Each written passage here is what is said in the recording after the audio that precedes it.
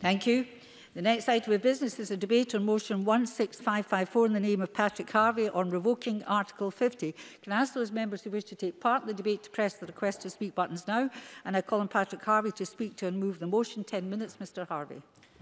Thank you, Presiding Officer. Before 2016 and since, the Greens have made our case for Scotland's place in the European Union. It is an imperfect institution, to be sure, but it has been one of the most successful peace projects in human history.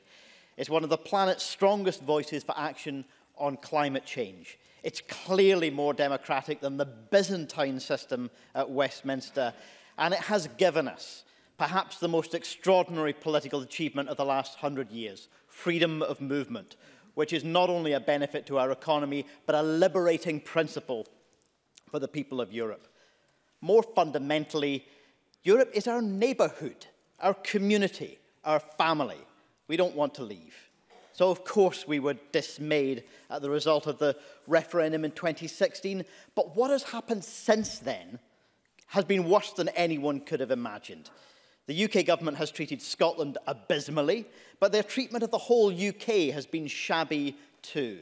They timed the 2016 referendum just weeks after the Scottish Parliament election. They announced a snap UK election right in the middle of our local elections. They refused to reach out, either across the Commons or to the nations, to seek consensus. They went to court to try and prevent MPs from having any say at all in invoking Article 50. And they opposed the safety lock mechanism of the meaningful vote as well, losing on that issue by just four votes. Every offer of political compromise has been utterly rejected. And then we had the continuity bill, a bill which, other than one small aspect which could easily have been corrected, was competent when passed. The UK government didn't like what we were doing with devolved legislation, so they first initiated a court case, then passed UK legislation retrospectively limiting the powers of this Parliament without our consent and preventing the bill from becoming law. The consequence is that whatever legislation we now pass in devolved areas, we know that the UK government is both able and willing to retrospectively cut our powers to stop devolved laws coming into force when they don't like what we're doing. The Conservative amendment, Adam Tompkins' amendment today, tells us that the 2016 result should be respected. Should we respect the Leave campaign's criminality? Should we respect the racism of so many prominent Leave campaigners? Should we respect their refusal even to engage with the threat to peace in Ireland, should we respect the numbers on the big red bus? Presiding officer, I respect many individual people who voted leave. And I respect their anger at the way the political status quo has failed them. But that failure lies at the door of successive UK governments, not the European Union. And it's the UK government which has not respected the result of that referendum. To respect that result would be to respect that a 52-48 result is a knife edge, and that requires an effort to compromise and build consensus. They didn't do that. To respect the result would be to respect the different votes of the constituent parts of the UK, that famous partnership of equals. They didn't do that. They didn't respect the result. They were given an inch and they took it so much further than a mile. Mr Tompkins' amendment tells us that the result should be delivered. This boils down to the absurd simplicity of just saying, get on with it, or just leave. We're way past that general argument. We're not interested in chasing unicorns any longer. Only a specific, coherent, and achievable path forward can be taken seriously. Mr Tompkins' amendment also tells us that the best option is to leave with a withdrawal agreement, even though that agreement has been defeated resoundingly twice. And in the media today, the Conservatives are calling this whole debate self-indulgent. Apparently creating this mess purely to address their own party's internal ideological divide, that's not self-indulgent at all. Prolonging this mess by refusing to reach out and seek consensus for staying inside the single market, that's not self-indulgent. Throwing a billion pound bung to the misogynist, homophobic, climate-denying sectarian marches of the DUP to keep their own hopeless Prime Minister in office, that's not self-indulgent at all. But anyone, anyone trying to stop this chaos and end the crisis the Tory party has forced on the country that apparently is being self indulgent. We're asked today to accept that Adam Tompkins and so many other Tory politicians who voted Remain, argued in favour of EU membership, agreed with Ruth Davison in the wake of the 2016 result that we should stay inside the single market and keep freedom of movement. We're asked now to accept that all of these people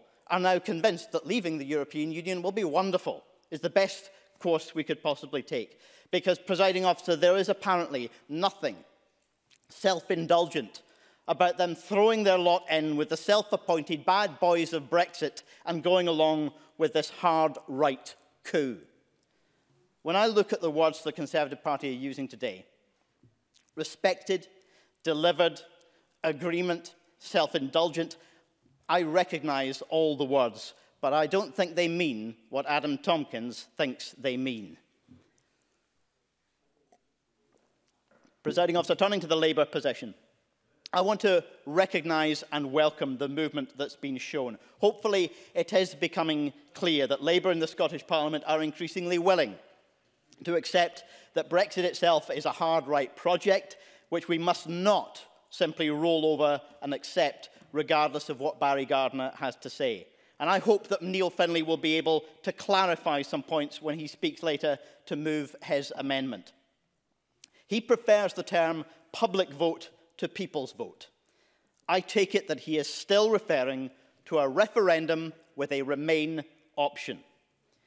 And is the wording of his amendment intended to agree with us that if a withdrawal agreement, any withdrawal agreement is to be adopted by the UK Parliament, it must be given back to the people to decide if it's what they want or if they prepare, prefer the current deal, the best deal of remaining inside the European Union with all of our rights, our protections, our democratic representation and the ability to shape regulations in the public interest. If that's the meaning of Mr Finley's amendment, we'll support it to achieve the widest possible backing for the essence of the proposal that we've put forward. But if that isn't clear, there is still a majority in this Parliament for the principle that the only ways forward are a referendum or revoking Article 50. Presiding officer, on Saturday, I marched through London with more than a million others, people from a range of political parties and people from no political party. Most of us never got anywhere near Parliament Square, so massive was the crowd we were walking with.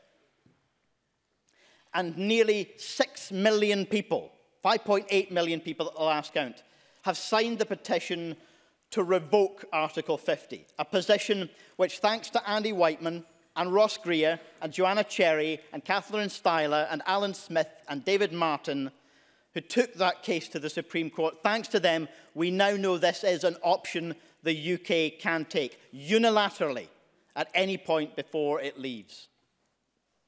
As yet, we don't know. We don't know what the result will be tonight from the indicative pro vote process at Westminster. We can be fairly sure that it won't result in a, a simple, sudden clarity, a sort of first past the post, winner takes all outcome there will still be choices to make. There will still be uncertainty.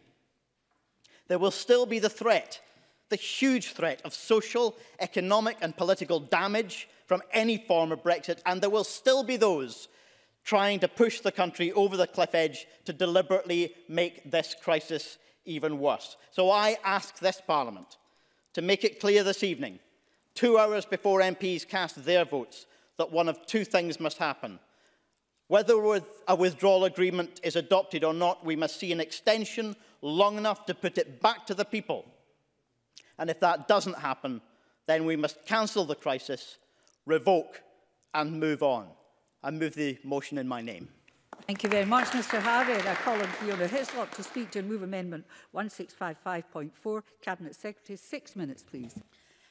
Presiding officer, I move the amendment in my name. I, I welcome this debate. It gives this Parliament the opportunity to come together to exercise the kind of clear, constructive leadership so manifestly lacking in Westminster. Two days Two days to go before the UK was meant to leave the EU, and there is still no plan that command support. The Scottish Government have been clear and consistent since the EU referendum that continued membership of the EU is the best outcome for the whole of the UK. It is the outcome that Scotland voted for. The UK government ignored that overwhelming vote in Scotland to remain, and the Prime Minister has ignored Scotland's national interests ever since.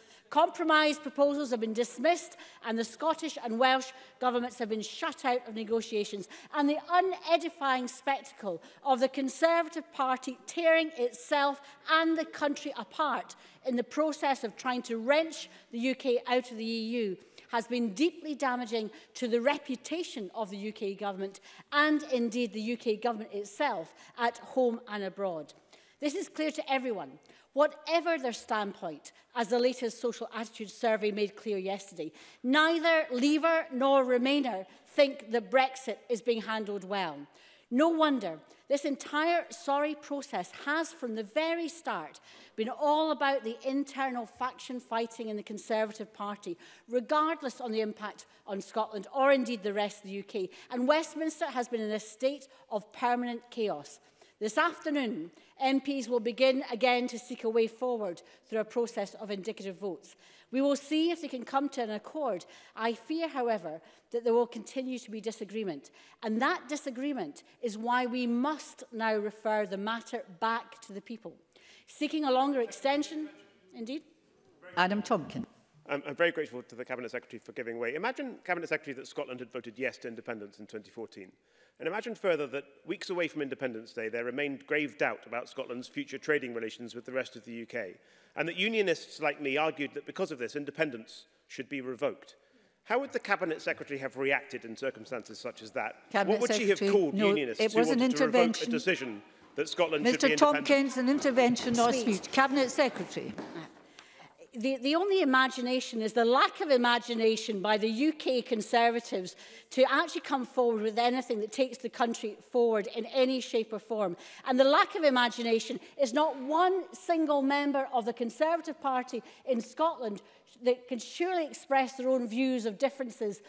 than that of the, the imperative they have to obey Theresa May, come what may. The circumstances have changed. The country is in chaos and Westminster, Westminster has not delivered what Scotland needs. And that is why it's perfectly possible in a representative democracy for the, for the, for the UK government, as has been determined by the ECJ, to unilaterally uh, revoke Article 50 50 under those terms.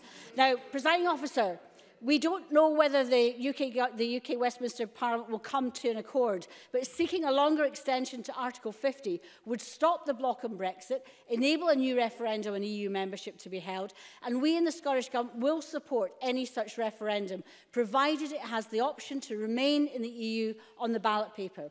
But no one should be any, in any doubt. It is indeed just an opportunity not a guarantee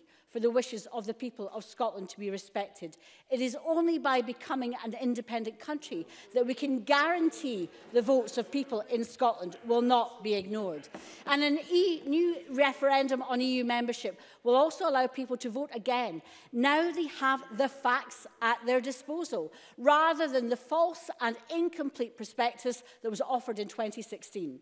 The 2016 EU referendum campaign was conducted with very limited information on which the public could decide and crucially no clarity from Brexit politicians whatsoever as to what a vote to leave might mean in practice or, or in a plan to delivering it. Every month, new evidence emerges of troubling aspects of the EU referendum and the campaign that preceded it.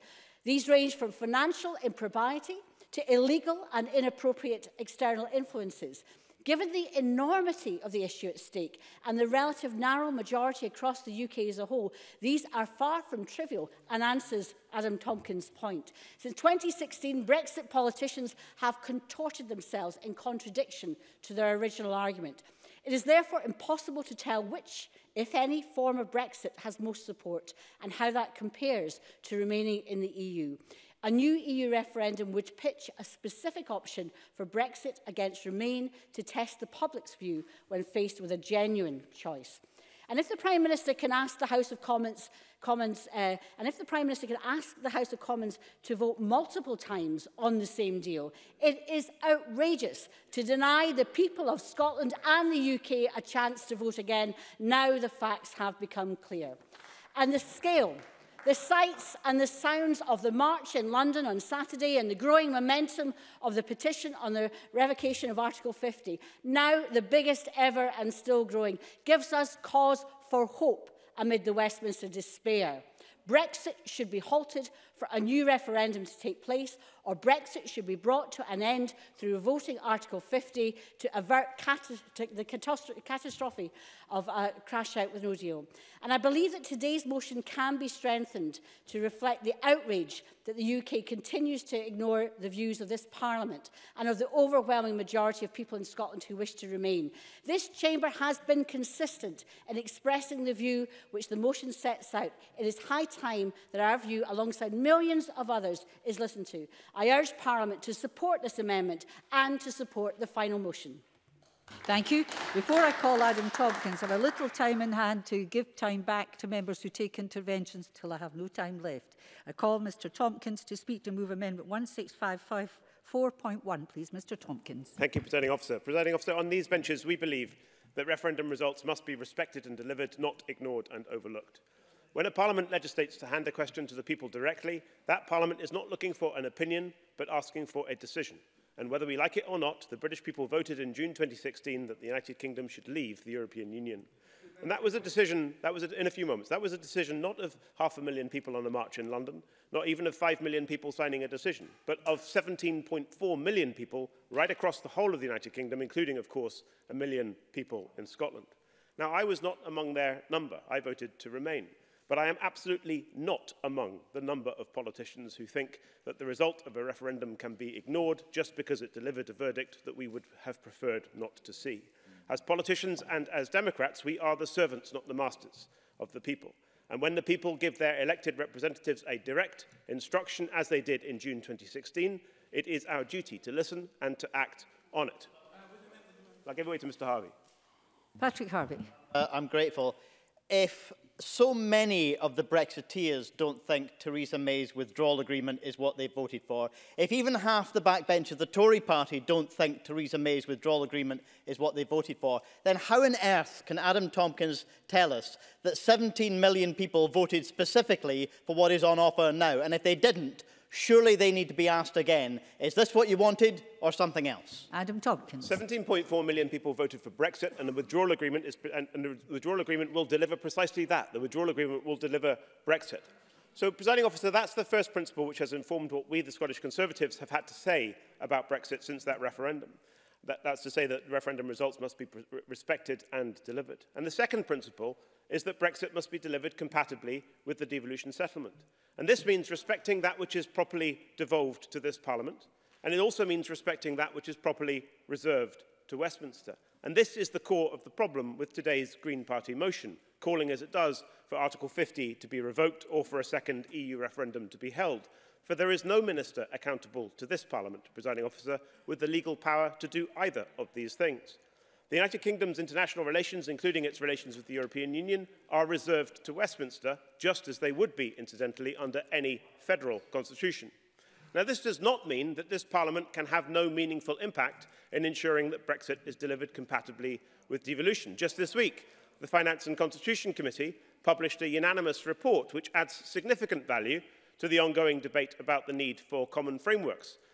in the post-Brexit United Kingdom. Much could be gained from exposing that report, its conclusions and recommendations to further scrutiny and debate in this chamber.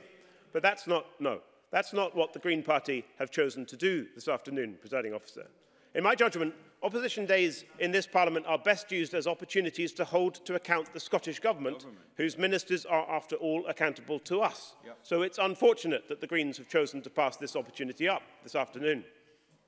Presiding officer, three options face us now. We could leave the European Union in an orderly manner, avoiding cliff edges and economic shocks, transitioning smoothly from membership to exit, in accordance with the withdrawal agreement that has been agreed by the EU27 and the UK government. Or we could crash out much more suddenly with no transition period and the real risk of significant economic shock. Or we could delay, perhaps indefinitely, flying in the face of the clear instruction to leave that the British people gave us in June 2016.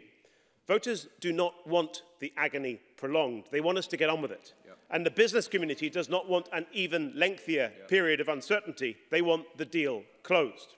The course of action urged upon us by the Greens today would do grave damage to our politics, all but destroying that delicate trust between voters and representatives that democracy relies on. To leave without a deal, no, to leave without a deal, in my judgment, risks doing similar damage not to our politics, but to our economy. And for this reason, presiding officer, I have never supported a no-deal Brexit, and I remain now as opposed to that course of action, as I always have been. This leaves only one option, presiding officer, which is the option I've been advocating for since the withdrawal agreement was published in November. I want us to leave the European Union. I want us to leave under the deal negotiated and agreed by the UK government and the EU27. I want us to get on with it,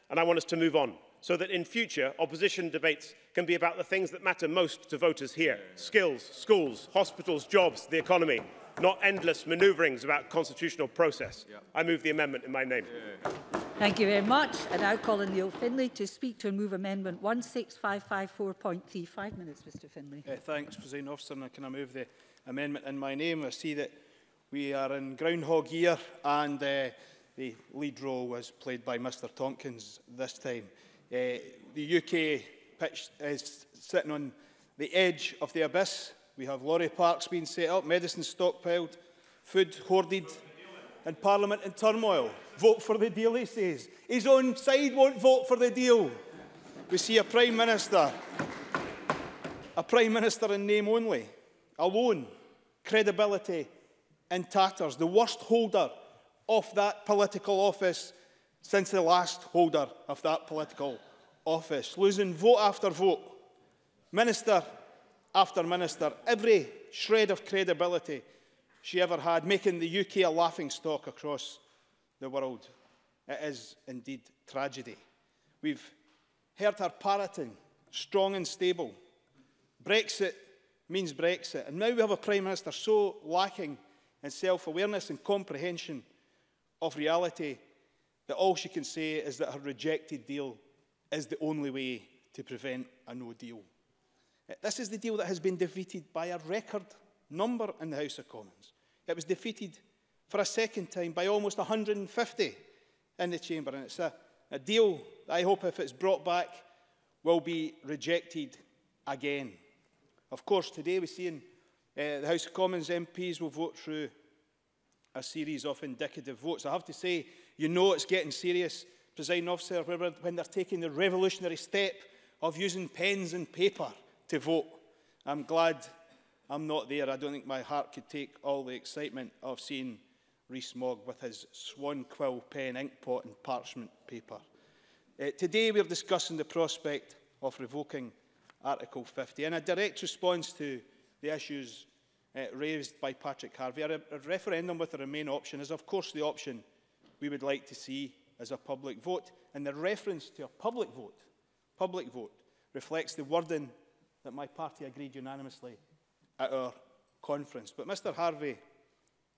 of course, will understand that for many other reasons, not least the impact of universal credit, not least the hostile environment and immigration, or the policies that see poverty and homelessness increase, and many others, we also want to see a general election to bring an end to this disastrous government.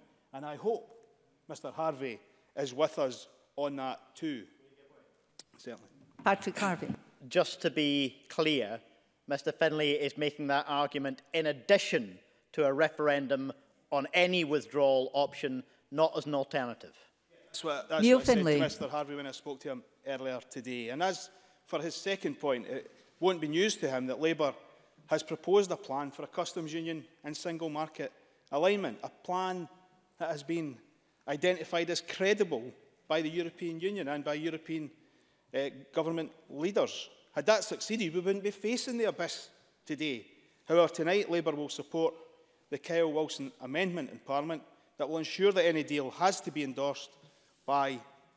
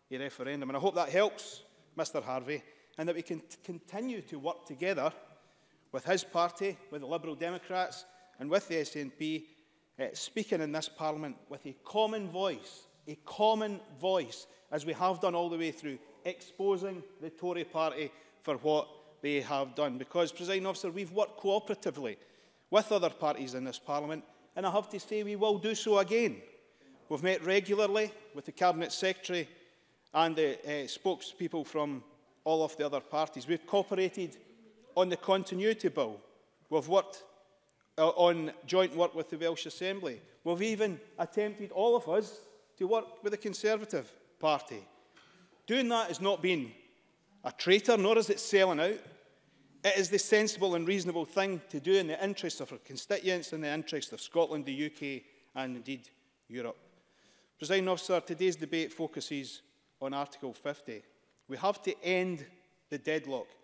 If no referendum, and then we come to a choice between no deal and revoke, then I think all of us who are sensible, that's excluding that side, would take the revoke line. We in the Scottish Labour Party, in the interests of the country, would take that, no thank you, would Members in take last minute. As, as opposed to the disaster, the imminent disaster of an no deal. But, President Officer, I would caution against any decision being one of Parliament alone. The referendum was about giving people a say,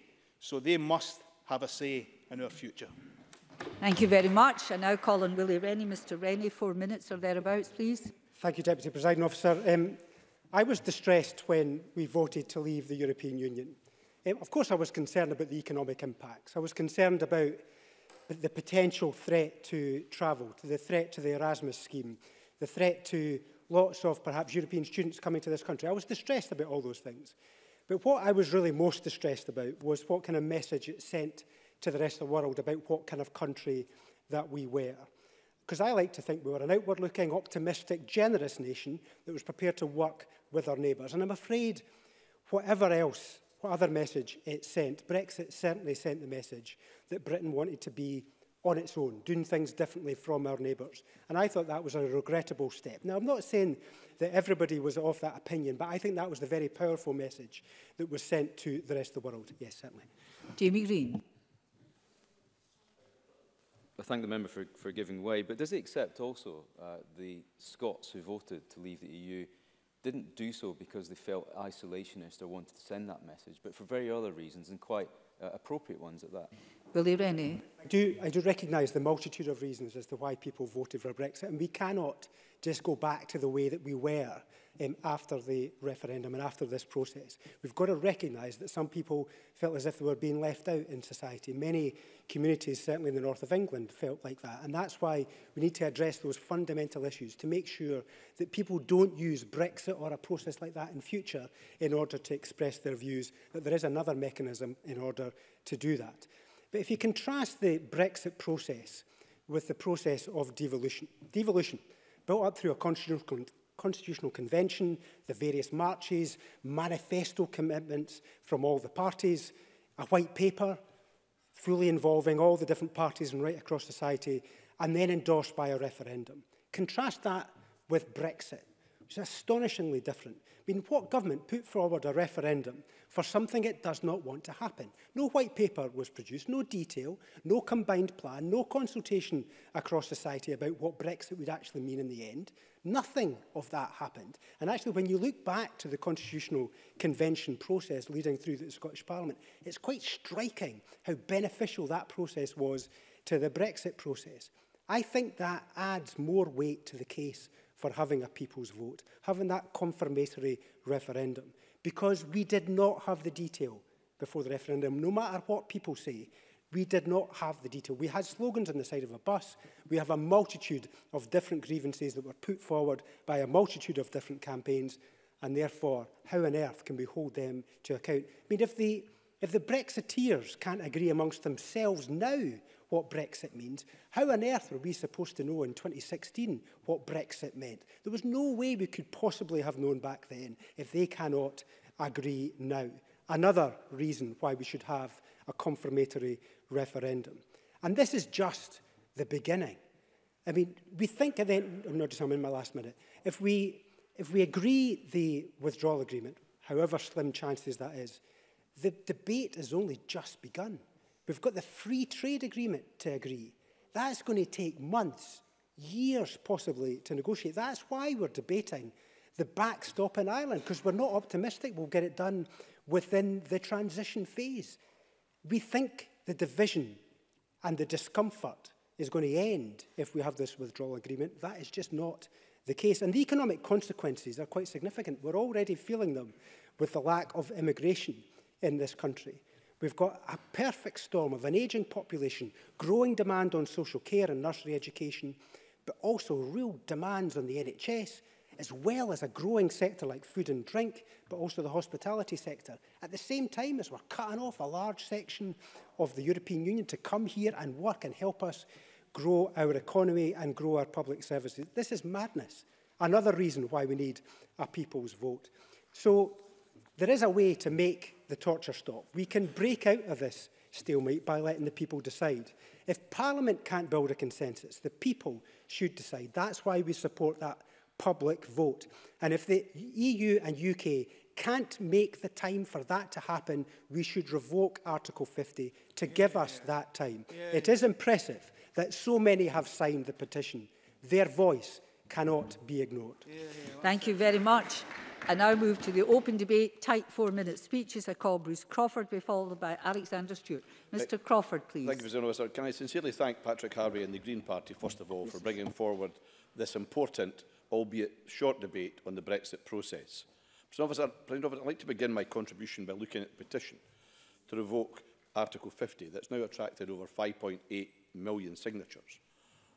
Over 12,000 of these signatures have been generated in the Stirling constituency. That's about 13% of my constituents. Now, of course, uh, in the Stirling constituency, 68% also voted to remain in the EU during the 2016 referendum. Before I say any more, let me say I fully respect the wishes of those people who voted to leave in the Stirling constituency.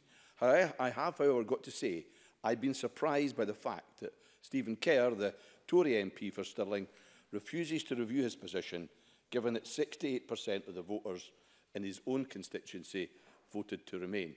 Now, I also fully respect the fact that he himself was a Leave voter, but surely he should reflect on the views of the vast majority of voters in his own constituency and consider following their wishes. Instead, I've got to say, unfortunately, rather arrogantly, he refuses to do so, as he just outlined in the Stirling Observer today. Now, it's obviously no secret that I remain a committed Remain supporter and frankly would take any route to derail Brexit. And I say this for two very important reasons. Yes, I will. Adam Tompkins. I'm, I'm very grateful to the member for giving, for giving way. I, I, imagine that Scotland had voted yes to independence in 2014 and that negotiations to separate Scotland from the rest of the UK had proved difficult as we warned that they would. Would the member support calls to revoke independence?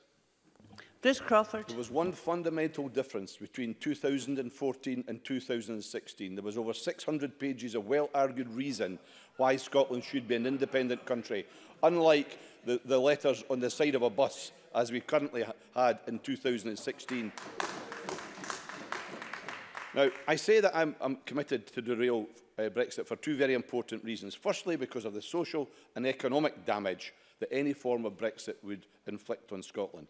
but I'm particularly concerned about the impact leaving will have on EU citizens in Scotland. They have been innocent bystanders, and the way they've been treated has been shocking, all the way through this utter calamity of a process that will not go down well and has been a very sad and disturbing chapter of UK history. But just as importantly, the right to freely travel, to live, to work anywhere in the other 27 countries of the EU as a European citizen has been stolen away from present and future generations of Scots if we proceed with Brexit. That makes me angry and despairing. But the second reason I see, want to see Brexit derailed is at the end of the day, all of this argument fundamentally for me boils down to one very simple question. Do you believe in democracy and do you believe in the sovereignty of the people of Scotland? Now, I know the rest of the UK Uh, uh, has, Parliament has traditionally been seen and historically been seen as being sovereign. Even although that notion has taken a significant blow this week by the actions of the Tory government, signalling they're prepared to ignore the will of Parliament. However, the position in Scotland, given strength by the claim of right, is that the people of Scotland are sovereign. Therefore, for us here in Scottish Parliament, I believe the choice is a very clear one – Either you believe in the right of the people of Scotland to choose their own future, or you do not. At the end of the day, it all boils down to that simplest of propositions. Well, I know where I stand on that proposition. I stand with the people of Stirling and of Scotland. They voted to remain, and therefore I'll do everything to try to fulfil their views. In closing, President Officer, I believe, the SNP believe in the sovereignty of the people of Scotland At decision time this evening, we'll just see how many parties and how many MSPs are prepared to put the wishes of the people of Scotland first and foremost and give us a way out of this Brexit madness through a people's vote. Call Alexander Stewart to be followed by Johan Lamont. Thank you, Deputy Presiding Officer.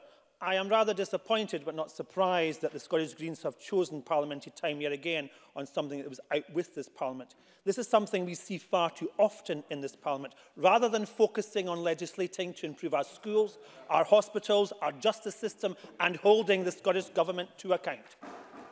Revoking Article... No, thank you. Revoking Article 50 would be undemocratic in the extreme.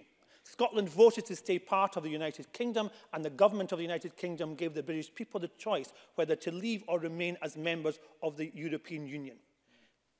In the ensuing referendum, people voted to leave the EU and have voted for in the biggest number of electoral history that we've ever seen. This result must be respected and upheld, Deputy Presiding Officer.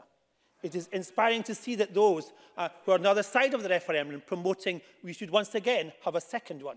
We have seen the same when it comes to independence. It would seem that the Greens and the SNP want to keep us voting in the great European tradition until we deliver the correct result. This is not how democracy works, Deputy Presiding Officer. People who voted uh, for political parties and people who voted to carry out their instructions should be listened to. The SNP set out a number of demands during withdrawal agreement. They called for the, the deal to prevent a no-deal scenario. We have that. They called for a transition period. We have one. They called for EU citizens' rights to be protected. They have been. They called for a hard border in Ireland not to happen. There will not be one. I could go on, Deputy Presiding Officer. The vast majority of people in, have tested the SNP and the surrounding deal. They have been met and they've been left with. And all we've seen is opposing. And it can only be because we're agitating for independence. This is not the way we should be going. There is significant support uh, across the business community in Scotland uh, for the deal. The NFU have said it will allow trade in agricultural goods and UK goods and foods and drink to continue through the transition period. Diageo have also supported the deal and have said that it will uh, give the travel and it will give the direction uh, and it will ensure that there is fairness during the interim period. So Ian Wood has said that the deal is both workable and better than the current system that we have because we'll be part of the common common market membership, but we will not be maintained and will have many of the advantages. Scottish businesses is therefore clear. They want members of parliament to back the deal. The Scottish National Party would do well to remember that there is only one deal on the table, and this they have been opposing to ensure that the, the no deal scenario becomes even more uh, of uh, an opportunity going forward. Deputy Presiding Officer, for far too long, the outcome of the whole country is to deliver a result of a referendum and to leave the European Union in an orderly and a managed way. And we want to see that orderly and managed way. The withdrawal agreement negotiated by the Prime Minister, whilst far from perfect, does just that. it very much gives the opportunity for us to ensure that we would have that transition period and that we would have that opportunity to have a negotiated way out of the situation. I very much hope that Parliament will approve the deal in the coming days and I support the amendment in the name of Adam Tompkins. Thank you. Johan Lamont, followed by Ruth Maguire.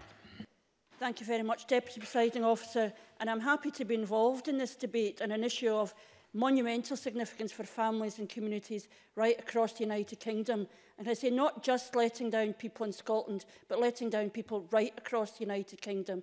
We have been let down by the Tory government, but I also observe and welcome the fact that people across party at a UK level, including Tories, are doing their best to try and sort this problem out. And we should at least recognise that. Now, I'm conscious that time is limited and there is insufficient time to rehearse all the arguments about how and why we ended up here with the UK government in chaos last time I looked and uncertainty scaled up to a whole new level. But to be clear, I support the right of people to have a final say on the Brexit project, to endorse either a deal to leave or to remain. And if and when that vote happens, I shall be campaigning emphatically to remain. Liam Kerr. Thank you, and I thank you for taking the intervention. Does the member agree with her colleague Barry Gardner that Labour is not a Remain party and that uh, it would have difficulty supporting a referendum on any Brexit deal? Johan no. Lamont. No, I don't agree with him. Now, I do not pretend, nor would I argue, should anyone else assert it, that this decision is an easy one. There are concerns, as some have been articulated across the other side of the chamber, about the consequences of having um, a vote. But I am clear given the end evidence that it remains the right decision. To coin a phrase, I've been on a journey. I was a reluctant Remainer, valuing the role of European cooperation post-war, yes, the benefits in particular to young people of being able to travel, yes, the role of the EU in securing social and employment rights, yes, but at the same time uneasy about the EU role in bearing down on the economic decisions being made in Greece and Portugal, for example, unhappy with decisions that felt distant and not rooted in local needs and experience, and concerned about the distance between some decisions and those affected, the same feeling that led me to support devolution way back in the day. But I am absolutely clear that whatever people saw in the referendum debate, whatever they imagined leaving would bring, they could not possibly have imagined this frightening evidence of job losses, perhaps with most impact on those who can afford it least. Routine discussions about stockpiling basics of foods and medicines have become the norm, and millions spent by government and businesses to manage a degree of uncertainty which was simply beyond imagining. This isn't any longer a theoretical argument or an academic argument. This is not a political idea or policy that we can argue back and forth in this chamber. This is having a direct impact in the real world right now. And I understand Adam Tompkins' argument about not wanting to debate about the Constitution. We cannot avoid debating this constitutional decision if we are concerned about jobs, about skills, about the future of our young people. They are absolutely entwined with each other. They are not separate things to debate. We have to confront one in order to deal with the other. What we see here and now is surely not what people voted for. Even the most pessimistic Remainer argument at the time of the referendum did not stoop so low as to describe what we see now. And it has certainly never, um, what is now happening was never painted on the side of a bus. We need to think now about how the debate is taken forward. This bit is the easy bit, arguing our corner, confirming our certainties to our colleagues across the chamber.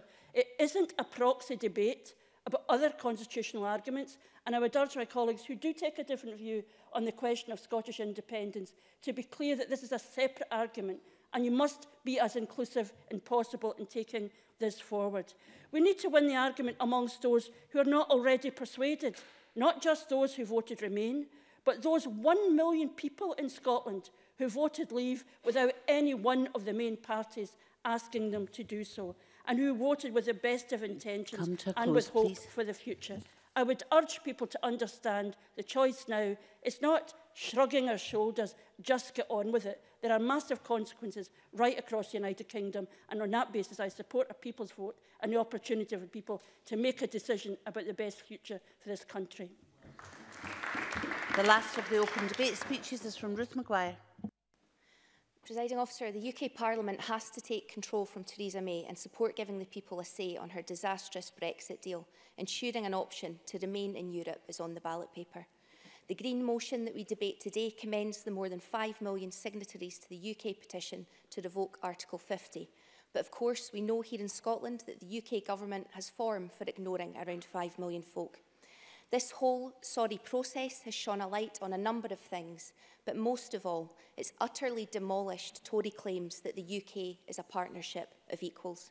Scotland voted overwhelmingly to remain in Europe, repeated votes in the Scottish Parliament and the compromise option of single market and customs union membership put forward by the Scottish Government have all been ignored by the Tories. That does not feel like a partnership of equals. Not at the moment, no. Presiding officer, like many colleagues um, who were concerned about EU nationals in, the, in uh, my constituency, I took the opportunity to reach out to those living in, in Ayrshire There were strong themes of anger, unfairness and a, a sense of losing belonging in their responses to me. If I can share some of them with the Chamber.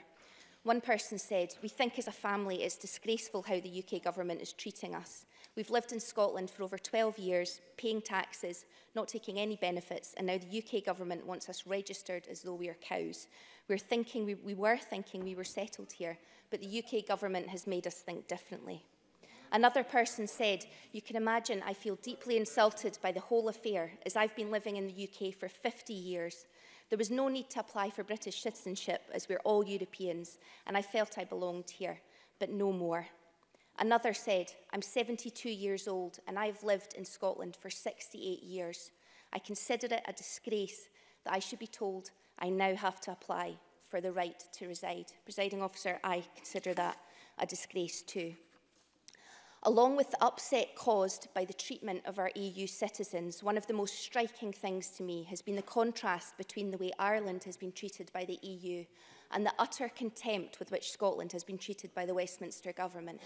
Solidarity and support for Ireland from its EU partners, while Scotland has our national interests ignored and the powers of the Scottish Parliament eroded, whilst we're left at the mercy of an increasingly dysfunctional and chaotic Westminster system. Surely no one in this chamber sent here on the votes of our Scottish constituents could seriously look them in the eye and tell them it's right and proper that a handful of DUP MPs hold more sway over Scotland's future than our national parliament. Surely no one in this chamber would support Scotland being disadvantaged in UK funding arrangements due to outrageous attempts by the UK government to win DUP votes. Presiding officer, we need to avoid both the catastrophe of a no deal and the damage which would be caused by the Prime Minister's bad deal. The UK Parliament has to take control, give the people their say, and remaining in Europe must be an option on the ballot. We move to the closing speeches and I call James Kelly for four minutes, please. Thank you, Deputy Presiding Officer. After all the debates that we've had on this Parliament on Brexit, it seems almost astonishing that on the 27th of March, two days from the defined exit day, uh, there still is an absolute lack of clarity on the way forward uh, because we face a Brexit car crash of massive proportions and it's that which uh, drove nearly a million people to come out onto the streets of London on, on Saturday, and also the petition of 5.8 million uh, people have uh, uh, expressed their, their view and their frustration in large, large numbers. And I think uh, that's something that has built over time since the referendum in 2016. And the reason for that, as John Lamont pointed out, is because of the impact on families and communities, not just throughout Scotland, but throughout the UK. There are three fundamental problems uh, with Brexit and with no deal. Uh, it's the economic damage that caused the undermining of opportunity for people and the infringement on people's rights. In terms of the, the economy, uh, it's quite clear that trade will be affected and will be reduced. And as the Bank of England has pointed out, that will result in an increase in inflation and an increase in, in interest rates. And some assessments have said that could mean the loss of 100,000 jobs in Scotland. And the impact of that means that uh, people then struggle to pay their bills, they struggle to pay their mortgages, and ultimately their, their standard of living, their ability to support their family uh, gets completely undermined. And that's why you see people taken to the streets and taken to the petition website in such large numbers. Willie Rennie uh, referenced uh, Erasmus, and that's a, a scheme that many have spoke about in this chamber over a period of time uh, of great benefit to Scottish students in terms of exchange visits. It covers 53% of those visits. And the potential ending of that scheme uh, not only loses the opportunity, but loses the ability of Scottish students to make the most of their education and then to go on to make uh, a crucial contribution in the economy. Uh, Bruce Crawford mentioned, you know, people's rights in terms of EU citizens and the, the fact that the uncertainty that the EU citizens staying and contributing in Scotland face uh, is something that is a, of a real concern. I think what has been the fundamental issue here, as Patrick Harvey pointed out, has been the inability of the Tory party to, to compromise. Even at this late stage in time, when you look back to the weekend in order to try and find a solution. Who did uh, Theresa May call to checkers? She called the Grand Wizards, and down they came from the Shires in their Jaguars and their sports cars uh, into a meeting that had uh, more men called David than women in the room. Uh, a really a really sort of uh, select and narrow gathering. And that's why, as Neil Finlay uh, pointed out, the the withdrawal agreement will continue to be doomed. And from that point of view, uh, it's right that people then look at a, a lengthy extension of Article 50 with a view to seeking a public vote. And like Joanne Lamont, uh, on that referendum with Remain on the ballot paper, uh, I would certainly support Remain. If, however, if that, uh, if that option crashes out and we're left in a position where there's no deal, then we should uh, seek the option of revoking Article 50. Are, these are serious times, uh, Deputy Presiding Officer, and we all have to live up to responsibilities on that. Jamie Green, four minutes, please.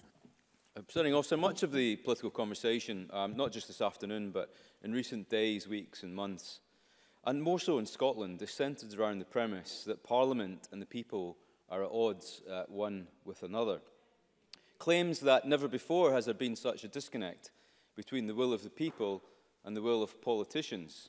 And some claim, as the motion and its amendments today suggest, that this Parliament's voice is not being listened to.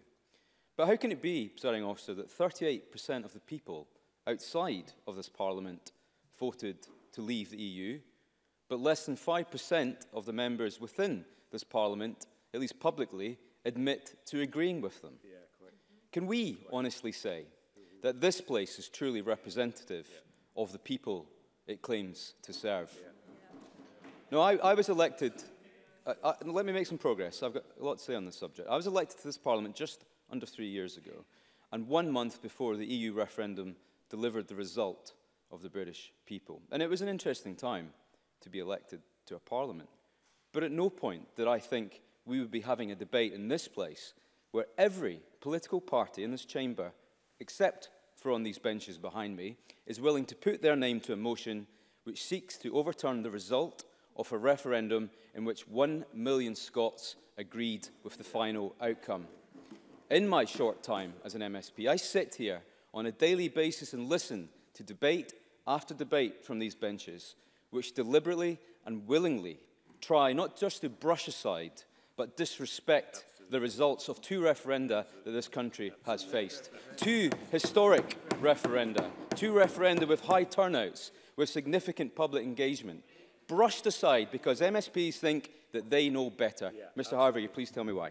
Patrick Harvey. I'm, I'm very grateful to the member for giving why, and I, I hear the, the, the passion with it, which he says that the, 38% uh, in Scotland who voted for leave should not be ignored why on earth should the 62% who voted Remain be ignored, or indeed the 48% across the whole of the UK who have been so comprehensively ignored by the UK government taking this process to the extreme? Jamie Green. Perhaps Mr Harvey can answer this question. Why does he choose to ignore the 55% of Scotland who want to remain in the UK? Please tell me that. That's the real question that I haven't heard an answer to. On, an, on a note of consent, though, Mr Harvey's motion begins with these words. It commends the more than 5 million signatories to the UK Parliament petition to revoke Article 50. And perhaps surprisingly to some, I commend them too. Just as I commend those who marched in London, many of them I consider my friends. Now, I don't agree with them, but it gives me pride that we live in a society which allows for that demonstration. But do not forget, for every one person who signed that petition, there are three who didn't, but voted to leave the EU. Online petitions and street marches do not make for constitutional change. Yeah. If you go to the public and ask for a decision, you must respect that yeah. decision. I have, I've got very little time. The Scottish Greens put out a tweet today earlier saying that the Tories are very upset about today's motion. And do you know what? They are. Because I'm upset that this Parliament wants to pass a motion that has no respect for the 43% of voters in North Ayrshire who voted to leave, or the 55% in Angus, or the 49.9% in Murray. So I challenge constituency members, when you go back to your constituencies on Friday, you tell them, those people who voted to remain in the UK and who voted to leave the EU, why you sought to revoke that message. And I don't think the SNP has given full thought to the consequences. It's a fundamental error of judgment on their part. Yeah. They're setting a very dangerous precedent Absolutely. too if one referendum goes the way that you don't want it to, you simply call it again. If you yeah. think people have changed their minds, you call it again. If the divorce is too painful or difficult, you call it again. I know for a fact if the tables were turned and we were coming forward with plans to overturn the result of an independence referendum, the SNP would be in uproar over our demands to deny the will of the people. The hypocrisy Just knows closing. no ends from these benches. Starting officer, we will reject, Mr. Harvey, we will reject this closing. motion, quite simply, because there is only one party in this parliament which res respects the outcome of both the referendum this country has voted on. That party sits on these benches. Fiona Hislop, five minutes, please, Cabinet Secretary. In any debate on Brexit, we should always, always remember this. The overwhelming majority of people in Scotland voted to remain. Scotland should not be taken out of the EU against our will. Scotland's votes to remain have been ignored by the Tory government and we have been ignored since. Votes in this Parliament have been disregarded. The Scottish Government's compromise proposals have been dismissed. And the Prime Minister has instead pandered to the extreme Eurosceptics in her own party, regardless of the cost to Scotland. And that has to change, and our voice must be heard.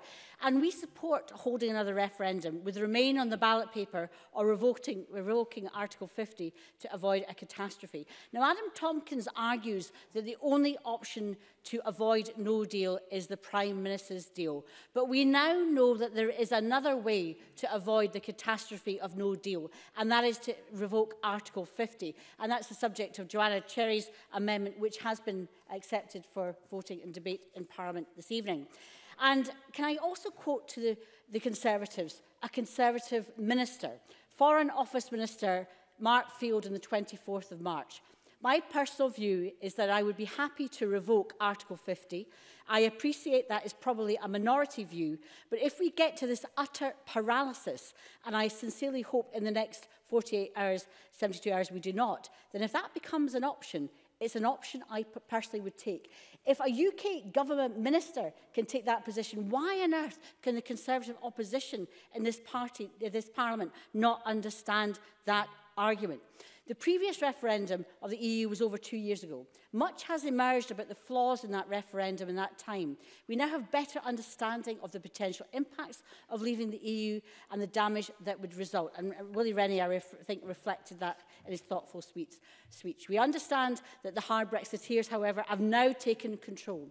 People are allowed to change their minds in light of the new information and new circumstances since the referendum. That is the very nature of democracy. Indeed, polling suggests that some people have done so.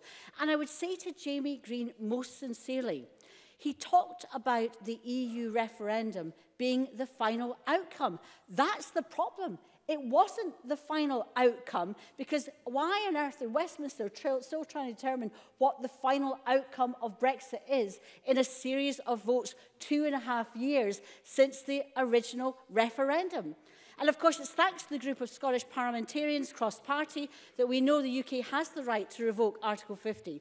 The UK has not left the EU, the European Court of Justice judgment on the 10th of December creates a clear route for the UK to revoke notification under Article 50 and remain in the EU.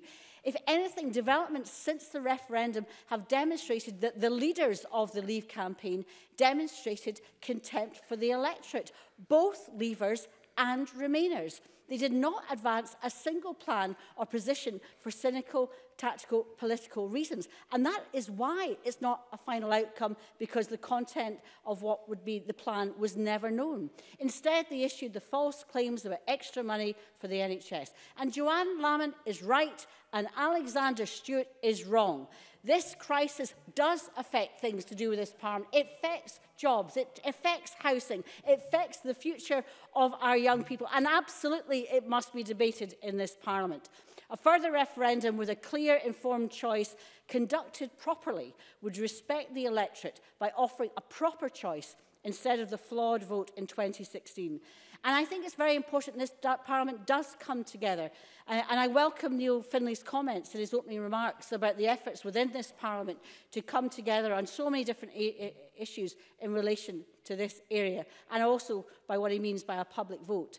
There are times, presiding officer, when this parliament must come together. And that is this, uh, the debate uh, is one of those times in terms of how we reflect the views of people and we find a way forward. And we are not just here, um, I think, uh, to provide comment. We're not just here to be passive, as the Conservatives are, uh, seem to be in, in the face of crisis.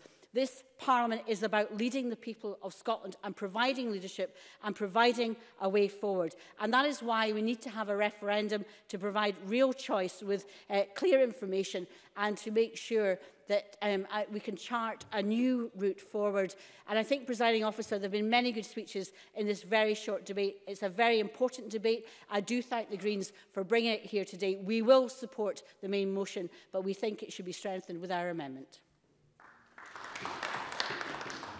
I call Ross Greer to wind up the debate for eight minutes, please, Mr Greer. Thank you, Presiding Officer, and I thank colleagues from across three of the other parties in this Parliament for working constructively with us on the motion and the amendments brought forward today. I think Joanne Lamont summed it up very well in saying that we cannot help but debate this. It brings us no pleasure to be debating this crisis today, but when we are talking about tens of thousands, if not 100,000 jobs in Scotland that are at risk from what the Conservatives propose, far more in the event of a no deal. When we're talking about our rights as workers, when we're talking about environmental protections, all put at risk because of this. It would be a dereliction of duty for this Parliament to pretend it's not happening, to talk about something else. And Joanne Lamont is right to say that this is a moment for those of us on both sides of Scotland's own constitutional question to come together. It is a moment for us to come together to say that we have a way out. We propose a way out of this crisis because we collectively know what is in the best interests of the people of this country. But I do want to very briefly engage with the hypothetical question that Adam Tompkins set out because I think it's an interesting one. And I would reference what Willie Rennie said about the referendum in 1997.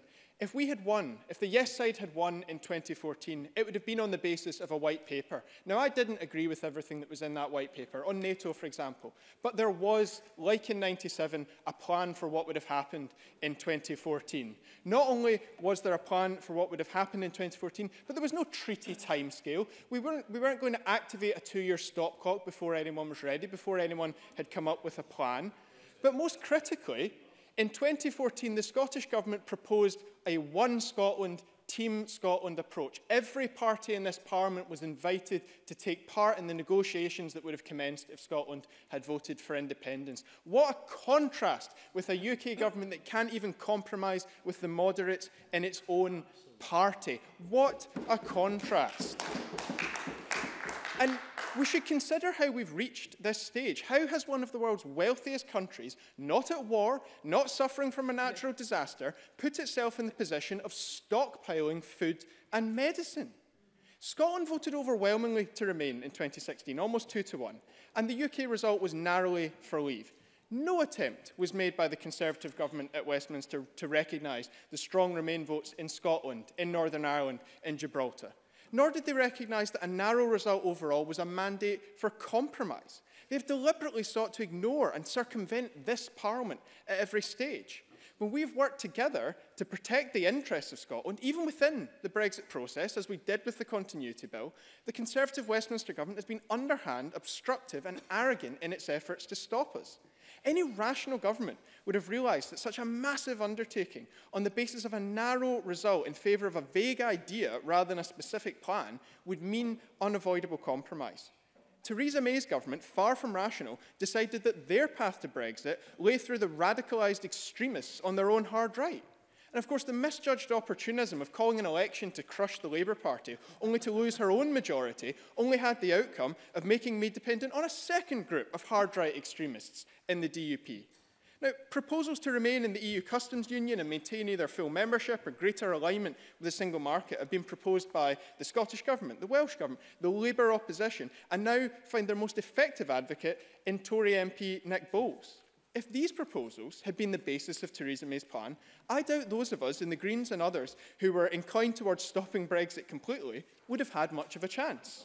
But if they, were if they weren't acceptable to the hard right of our own party, then they weren't acceptable to Theresa May in Downing Street. We have a Prime Minister who willingly handed her government and the country over as a hostage to Jacob Rees-Mogg. A Prime Minister who started Article 50's two-year countdown without a plan and a Prime Minister whose electoral opportunism backfired so badly that she is dependent on the votes of a party which opposed the Good Friday Agreement to deliver a Brexit which profoundly endangers the peace process that that agreement has delivered. The Conservative strategy has been to use the biggest constitutional upheaval in modern UK history to deliver not the best or maybe the least worst outcome for this country, but to continue their own 40-year civil war over Europe.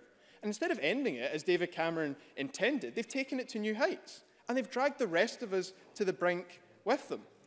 It wasn't uh, until almost two thirds of the way through the Article 50 period. Excuse me, Mr. Greer. Could we have a bit of respect for speakers here, please? Thank you. Mr. Greer.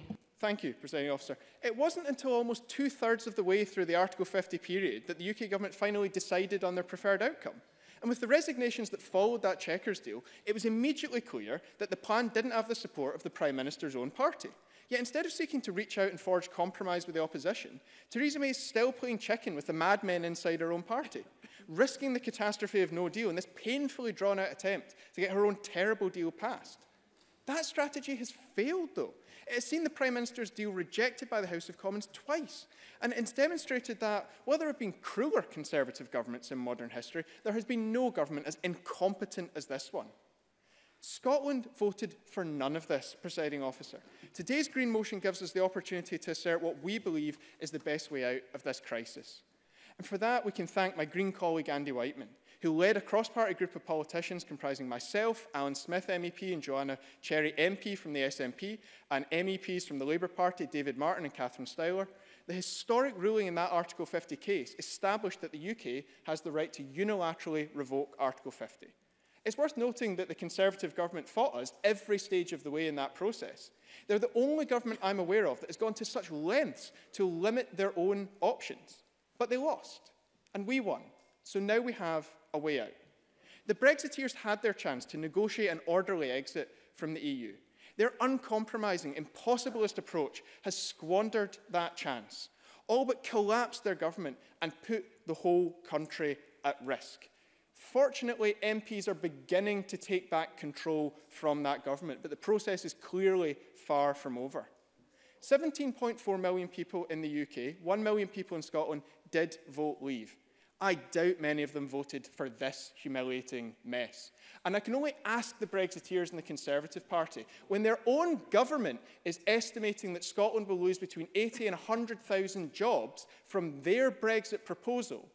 is that really what they think they voted for? And why are they backing it now? There is a way to check what people voted for, though. This decision can be handed over by a deadlocked Westminster to the people. Let the public decide between this bad deal and the opportunity to remain part of the European family of nations. But if MPs refuse to give the public that final say, if they cannot come to an agreement as the clock winds down to no deal, then we must say today, on behalf of the people of Scotland, on behalf of all those who will be hurt, who will be put at risk, who will suffer from a no deal Brexit, we must say that Article 50 should be withdrawn and the Brexit crisis should be ended. Colleagues, Today, European Council President Donald Tusk told MEPs that they must stand up for the increasing majority of people in the UK who want to stay in the European Union. He said that they may feel that they are not sufficiently represented by the UK Parliament. I know the feeling. but they must feel represented by the European Parliament because they are Europeans. Today we have the opportunity to show the people of Scotland that we represent them, that we defend Scotland's overwhelming Remain vote. This is a European nation. We are a European people. We believe in a people's Europe, and we know it is time to let the people cancel Brexit. That concludes the debate on revoking Article 50. And it's now time to move on to the next item of business. If you could... Point of order, Tom Arthur. Officer, I rise to make a point of order under Rules 8.5.3 and 8.5.6. These concern the admissibility of amendments and the selection of amendments. In the amendment in the name of Adam Tompkins, it concludes by stating with reference to a withdrawal agreement to leave the UK with a withdrawal agreement. I wonder if you can advise, presiding officer, whether it would have been permissible for that amendment to make reference to the Prime Minister's withdrawal agreement. Well, that's a matter for the member who has put forward that amendment and a matter for the presiding officer who decides to accept that amendment. If Mr Arthur wishes, I'm more than happy that this be considered further and a response given to him.